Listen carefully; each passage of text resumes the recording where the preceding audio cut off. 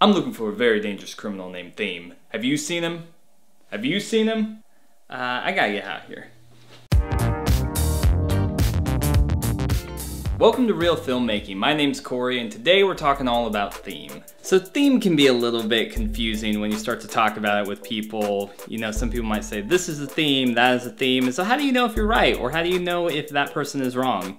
Today I want to give you some basic tips on how to identify themes and put themes into your different pieces of stuff that you're writing. So the best place to start is with a definition. Theme, as defined by Merriam-Webster's dictionary, is the subject or main idea of a piece of writing or other work. Think of theme as like the umbrella that covers us in the rain shower of narrative if you want to go with that metaphor. Or if you like another one, theme is like the icing that sits atop of a cake. So if you have a chocolate cake, which is like chocolatey and delicious, and then you have vanilla buttercream frosting on it, the frosting flavors that chocolate, but it's still chocolate at its core, but it gives the chocolate cake a different taste to it. That is what theme is. You can have a story about redemption and another story about redemption, but depending on what theme is wrapped around redemption, you'll have some other flavors to it. That's the best way to think about theme. Let's talk about some things first that theme is not.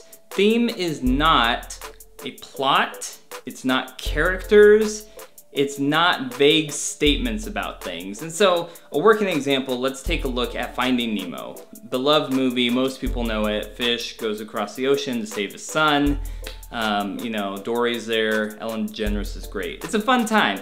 But if you're asking somebody, what is the plot of Finding Nemo? You would not say, oh yeah, the plot of Finding Nemo is the fish who goes to save his son across the ocean. That is the plot of the movie. It's not actually what the theme of the movie is about. Likewise, you would not say, oh yeah, Finding Nemo. It's like Marlin and Dory, and you know, there's a shark in there named Bruce, and Nemo, of course, you know, the movie is named Nemo. Those are characters, they're not the themes of the movie. You would not use vague statements like, oh yeah, Finding Nemo, the theme of that is family. Themes are a little bit more defined, so you wouldn't just say, oh yeah, it's family. You would say, oh, the theme of Finding Nemo is family is worth finding, or family is, you know, deeper than blood because Marlin becomes, you know, friends with Dory and she becomes part of their family. Those are more concrete examples of what a thematic element is. Along with theme being like this big umbrella that covers stuff or the icing on a cake, Stories can have a central theme, they can have multiple themes, sometimes they can have contradicting themes, sometimes an author can write a story that has no theme. It just all depends on what the author wants to convey to us as the audience. So now that we know what theme is and what theme isn't, we're gonna do some practice on how to identify themes, and I'm gonna give you guys a couple tools that I found helpful when I'm trying to identify themes. But we're gonna do this with the help of one of my favorite superheroes and all-time favorite movies, Spider-Man 2. It's so good, look at it! Look at it! Oh my goodness. Okay, so how do you find themes when you're watching a movie or you're reading a story? A good rule of thumb is to look at the protagonist. Protagonist of Spider-Man 2 is Spider-Man, and what happens to him in this movie?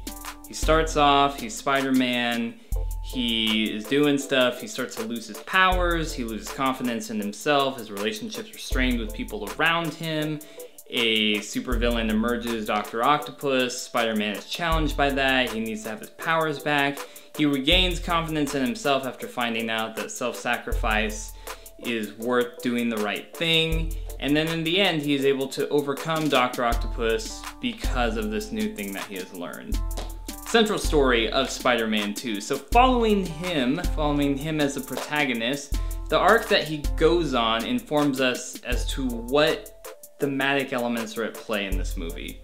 Obviously, this is Spider-Man. We have all heard with great power comes great responsibility many times. But looking at Peter's arc from where he starts in this movie to where he ends up in this movie, it's very clear to see that, oh yeah, with great power comes great responsibility is represented in this film. Looking at the protagonist and seeing the different character arcs that they have will help to inform what themes are in play. Another great way is sometimes characters just outright say things that are themes in movies. They might not be verbatim, but they say things that are pretty close. In this movie, there's a scene where Peter is helping Aunt May move out of her house after it's been repossessed.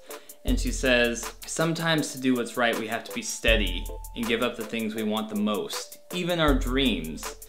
Peter's been struggling a lot with this life that he's pictured, this idealized life, and the responsibility and the power he's been given as Spider-Man.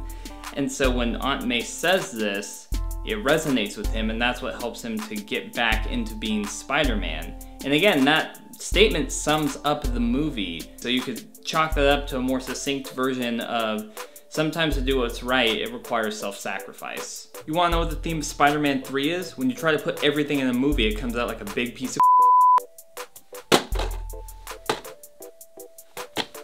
When you're incorporating themes into your own writing, there's a couple ways that you can do that. Way number one is to choose a theme and to write around it. So maybe you're like, I wanna write a story that has the theme of revenge. So you would start with this idea of revenge and maybe you might say, I wanna write, you know, it about revenge and we'll have it be like, revenge is meaningless in the end. That's the theme of the movie. So you would write your plot around like maybe your character experiences this journey towards revenge and they finally get their revenge, but they're worse off than where they started. That would convey revenge is meaningless in the end. Another way that you could do it is you could just write a story and let the natural themes emerge. This again will be very dependent on your life experiences and what you will read into your stories and your characters. For example, for me personally, when I write, I a lot of stuff that tends to naturally show up in my writing is I like redemption stories or I like a fallen hero who's able to be redeemed. I like this idea of somebody who was this one thing, they stood for this one, maybe like this evil purpose, and through the course of their life, different characters that they meet, they end up at this other place where they're a completely different person. I love those themes of redemption. Depending on whatever you're trying to do, either one of those techniques might be a good way to proceed. A word of caution when regarding themes, themes are very subjective. And I know that seems weird, like this is me ending this video, it's almost over, but themes are very subjective.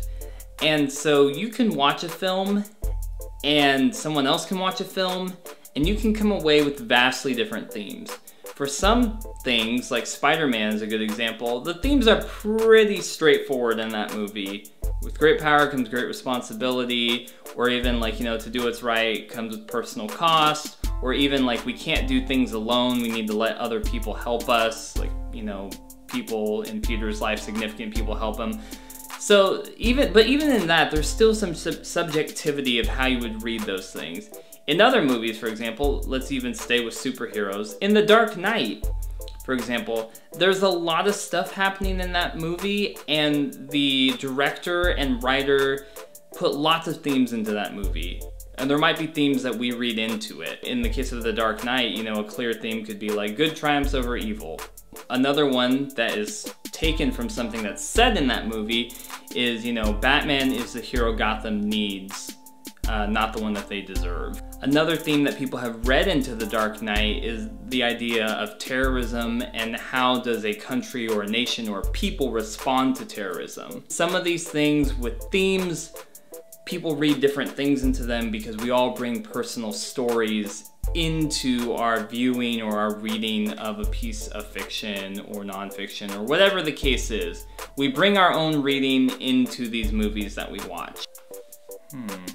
So guys, I hope you enjoyed today's video about theme. I hope it's helpful. If you like this, give it a thumbs up. Uh, subscribe to the channel if you want to see more content about this, about storytelling, and about how to make movies. And until next time, get out there and make some movies.